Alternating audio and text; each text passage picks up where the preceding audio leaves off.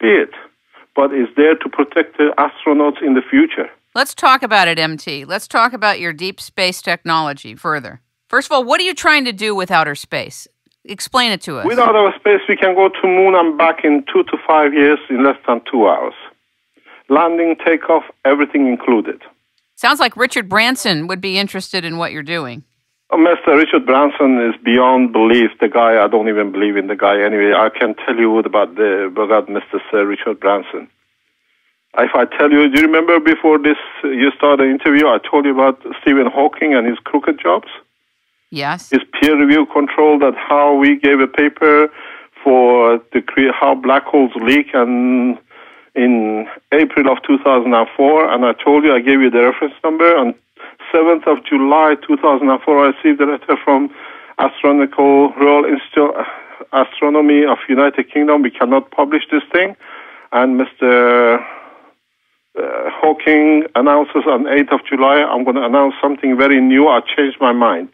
How come he didn't change his mind till I submitted paper for publication, which was refused to be published and is kept in the Royal Academy Institute in London, according to the letter? You can go and ask for it. I explain how black holes leak. It's the same with Mr. Sir Richard Branson. He knows we have communications with him. He knows what we do. He put what they call the Earth Challenge for CO2 capture. Right. We have developed the technology where we can convert CO2 into solid state at room temperature and create energy. And he said in his interview, nobody has come forward for anything for CO2 capture.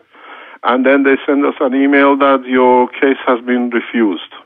How come? At least we are the only one there. It shouldn't be. Nobody has come in, huh? So forget about that situation.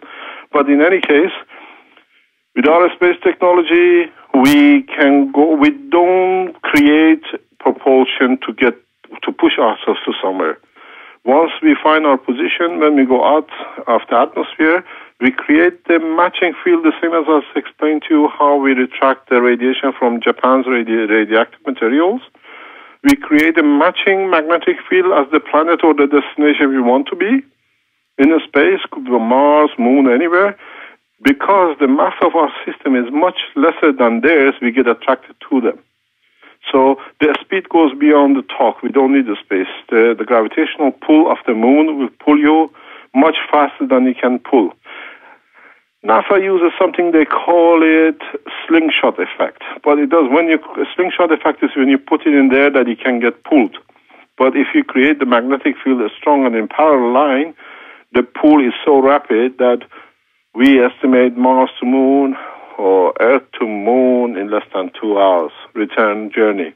I have to ask you about your level of confidence. You Why sound. come? Because I have systems. I don't need the confidence. I'm not talking theory. I have a system physically. We have shown it. That's what my system does. Not ago, it's tested. The Iranian government has announced it in past six, eight weeks that they have their spaceship program. It uses our technology. It's not a joke.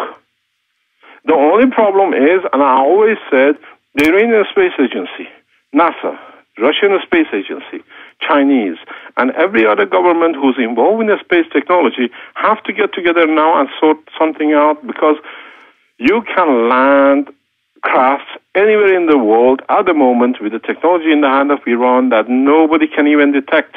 I go back to what I told you about the energy. We have a d- dynamic magnetic field around our system. We can create, put thousand, ten thousand people on board of a craft, ship it and land it right in front of the White House that none of your radars, none of your technology can show there is such a move because this is a dynamic. It literally absorbs the radar frequencies and it just chucks it up. It never comes back for it to be shown. So, if it nullifies the radar frequencies, isn't that considered a potential for a national security issue? And that's why they're watching you?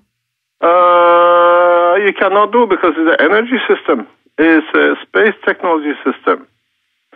As some, as one of the what do you call it? American naval officers of the American Navy does a lot of research in the space and that kind of thing.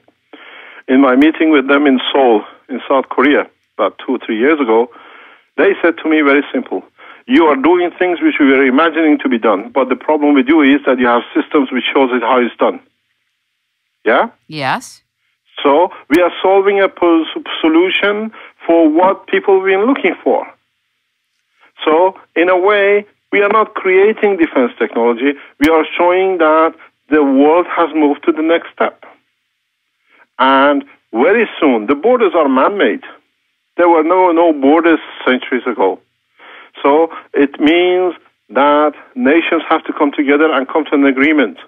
Chinese can move millions and millions of people once we release technology in full. You can find millions of Chinese in the morning in front of Washington. Huh? That's because wild. they want to have the same lifestyle as you have. The airline industry definitely should get involved. the airline industry doesn't want to get involved because I can give you the name of officers at Boeing. The top management in Boeing knows they've seen the videos of our work.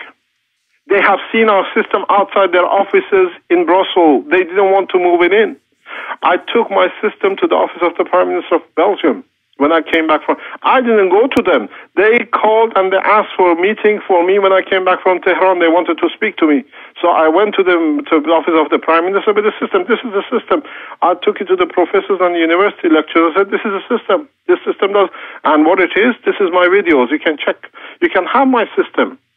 I told the Boeing, I said, have the system if you want to give you the blueprint. Huh?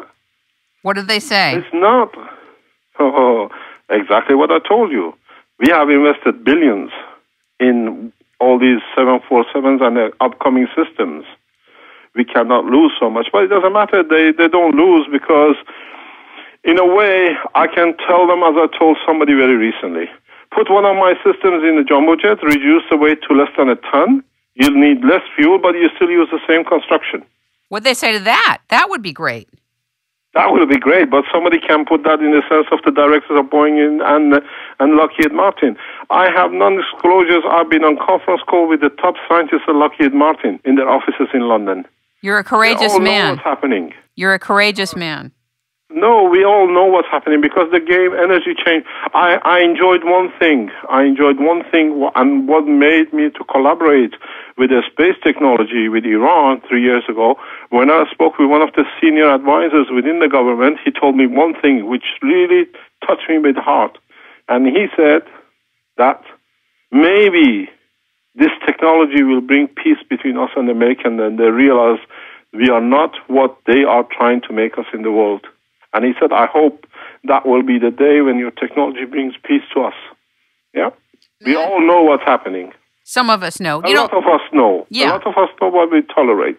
let's talk about the reality of disruptive technologies, even if they're fantastic and they change life and they make life better all over the world, okay? And the future of humanity and the planet.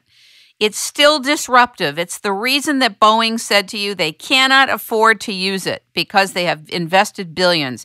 Have you thought of how a transition plan might look for a civilization that's already invested everywhere in other things that are not as useful, but they're entrenched in it, they're invested in it, and they don't want to get out of it? What kind of transition plan so that they can see that this other alternative route has an economic incentive for them. Have you thought about that?